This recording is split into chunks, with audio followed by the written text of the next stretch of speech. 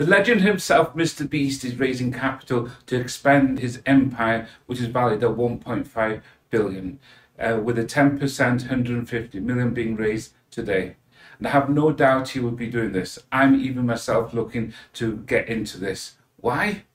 You heard me say this all the time the physical and digital merging, that's where the opportunity lies. He is an expert of this, merging content creation with physical activities and with merchandising.